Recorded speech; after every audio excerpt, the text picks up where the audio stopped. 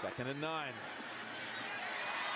Plus the middle. Sherfield was knocked out. Shakir knocked down inside the 10. Oh, what an effort! The play of the night. Khalil Shakir.